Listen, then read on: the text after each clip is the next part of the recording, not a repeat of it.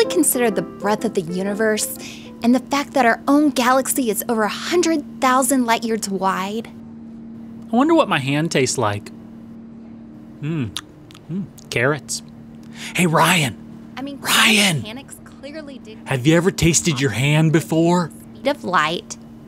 Uh, what? Have you ever tasted your hand before? Have I tasted my hand? What are you, bottle fed? Okay, that's low. That's low. I ask you a simple question and you gotta get all offensive. Okay, okay. Of course I've tasted my hand before. It tastes like ocean breeze and lilacs. No. Oh, mine tastes like carrots. Well, mainly carrots and a little bit of ham. Maybe just a little. Uh oh.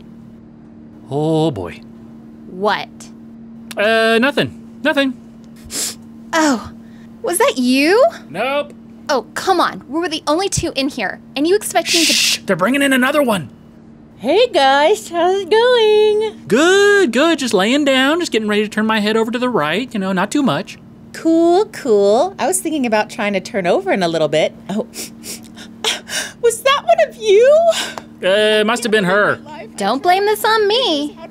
I can't believe it. I had a great nap. I got to put on my favorite dress, and now I get plopped between two of you smellers. Smellers, listen, this was not me. Shh. Look, you own up to this. Oh, please, giant person, get me out of here.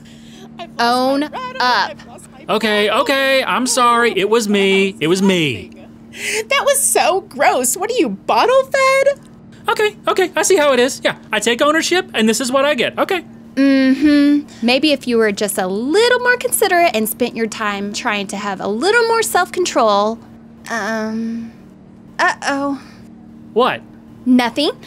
I was just saying that Oh man, was that you? I don't know what you're talking about. Mm-hmm. Yeah, why don't you own up to that? Oopsie. Now who's bottle fed?